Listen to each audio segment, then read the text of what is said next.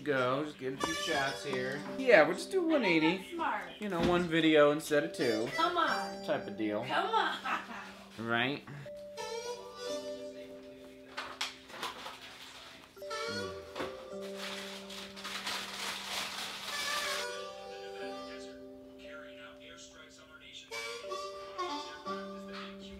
Does that change it? Nope.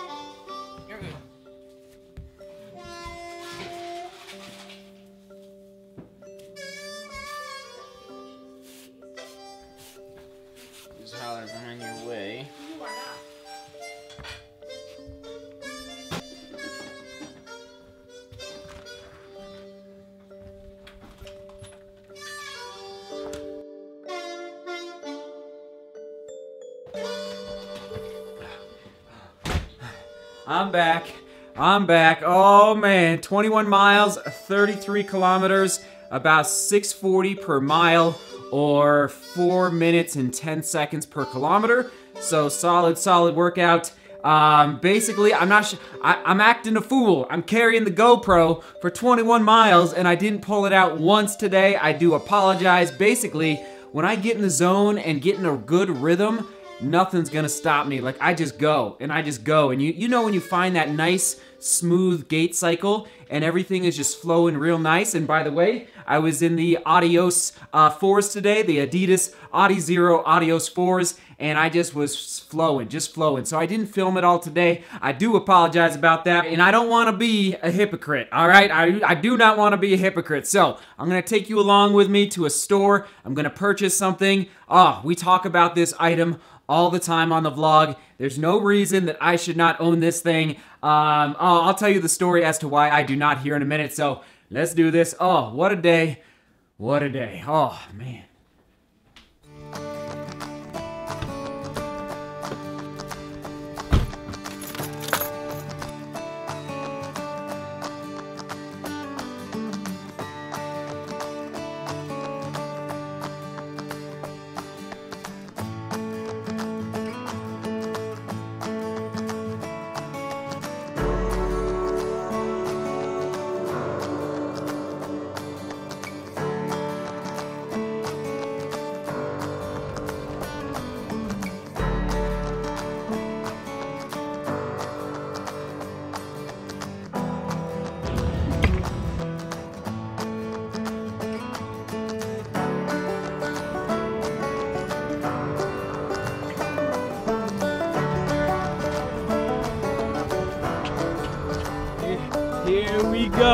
Here we go. Okay, ladies and gentlemen, it's incredible. We are a quarter of the way through 2019. How insane is that? It's April, well, now it's April 2nd, and I marked in my calendar back like a couple months ago. I wanted, I wanted, and I'm going to right now, check in with all of you on any injuries that you might be suffering from right now a quarter of the way through this year. Now, listen, for me, I think of the annual calendar year in quarters. Why? Because of the one mile race. I know it's crazy. It's like that crossover between track and life. So, question of the day here we go. Are you suffering from any injuries? If so, what is your injury and what are you doing to help get over that injury? Uh, what are you doing for prevention? For are you going to see doctors or are you dealing with it at your house with uh, devices like this? So that is the question of the day. Thank you for hitting it up down below. Let's get that ball rolling, and hopefully the goal is that you will be able to uh, help others who are suffering from similar injuries. For example, if you are suffering from plantar fasciitis, I'm your guy. I can help you with plantar fasciitis. A, a pulled hamstring, that's a little outside my wheelhouse, but PF, that is where I live. All right, that is the question of the day. We're heading home to uh, get our roll on, get our roll on.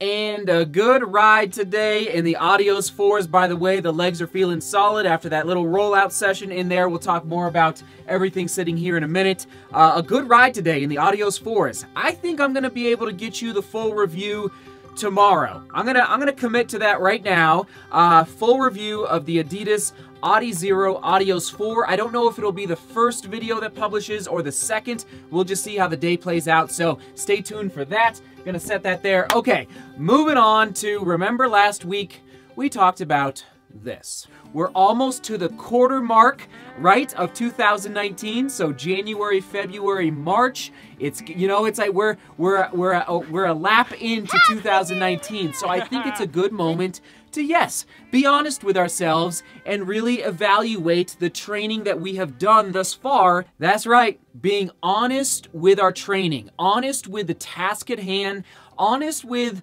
the peak races that we have on our racing calendar and oh my goodness i've been known trust me i've been known to hold on i've been known to uh, sign up for too many races in a calendar year i'm guilty of that so i feel like right now i'm at a pretty good place with respect to balancing the training that needs to happen for the amount of racing that i hope to do but in addition to honesty with our training, we've got to be honest with what? With our injuries. Oh, it's like I don't know. I've never really played like basketball and been injured as a basketball player. I've, I've never played any other sport. I've played other sports, but I've never been injured as an athlete in an, in another sport. So as a as a runner though, I can really relate to anybody out there who is just struggling with injuries. And I'll admit, I'll be the first to admit, I've uh, I've been known to push through injuries at times.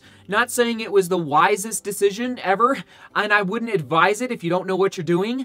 But over time, and maybe for the the uh, the veteran runners out there, if you've been running for let's say more than 10 to 15 years, let's like a, a, good chunk of time, you do learn, like tell me if I'm wrong, but down in the comments let me know, do you do you, have you figured out if you've been running for more than 15 years, have you figured out like okay, I know what this pain is, I can deal with this at my house or oh, that's a new pain. I need to go to the doctor immediately. I don't know about you, but I actually feel pretty confident now after running for 20 years that I can kind of self-diagnose like, okay, this is an ache, this is a serious pain. I even had a pain last week. Um, it was just a, a little, a little ache um, kind of down in my uh, shin splint area. And I was like, okay, I know what this feels like. I've had this little pain before. I'm going to work on it. I'm going to monitor it. And sure enough, it didn't develop into anything, but that was like, that was something I had to be aware of uh, just last week. And yes, the key word for this video is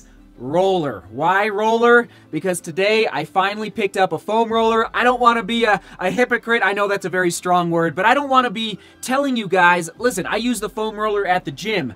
I actually gave my foam roller away after college because I was so distraught at getting nine stress fractures in college. Like I was just like, I was done. I just needed a mental break from running. I, I really did. And so I gave away my foam roller. I gave away my, my massage stick. That's what this is right here. And I said, all right, I'm just, I'm just, I'm done with it. So today's keyword is roller because I was like, no, if I'm going to be telling all of you that you need to be using a foam roller when you have aches and pains, um, I had better be at least using one, I would say at least once a day. So going to the gym, I can't go to the gym every day and foam roll. So that's why I picked this guy up today. This is the Trigger Point, and it is available down below, but this is the Trigger Point uh, foam roller. This is a very, very intense foam roller. I like this kind. I've used it in the past. I would not recommend it if you are not used to foam rolling because this will really, really dig in to those aches and pains. Like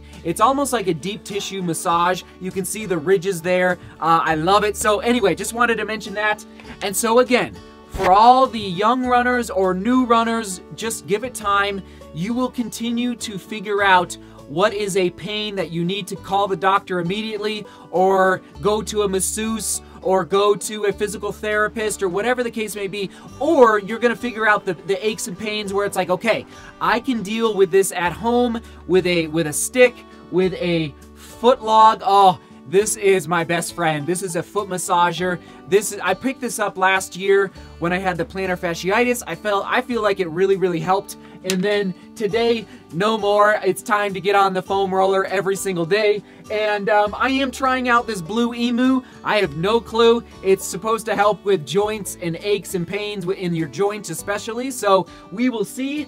Anyway, I'm just trying to get the conversation going. And again, that question of the day, do you have any injuries right now? Um, if you don't, When was the last time you had an injury and how did you overcome it? Oh, we're at the quarter mark. That's right, the quarter pole mark of 2019. I think it's just a great time to check in on uh, everybody's health out there because I know everybody's pounding ground and I'm, I'm watching you. I'm watching you on DeMoor Global Running. Like your miles are impressive and your vertical gain is impressive. And what's really exciting is to begin to watch all of these track workouts begin to pop up on um, begin to pop up on more Global Running. And I will say, for me, I think what we kind of honed in on when I was at CU and I had nine stress fractures is for me, the combination of high volume and high intensity workouts kind of we think that that might have led to a lot of my injuries. So anyway we got to look out for each other right? Keep each other accountable to the to the task at hand but also help each other stay healthy. And if you have any tips or ideas on how to overcome some injuries like for me i will jump into the comments below uh, about plantar fasciitis. If you're suffering i will do my best to comment and give you some ideas or thoughts on how to overcome that injury. All right, YouTube family. I hope uh, I hope that brought you some uh, some good information today, and we're just gonna keep rolling out together. All right. Seek beauty, work hard, and love each other. Oh, good times in the studio. See you tomorrow.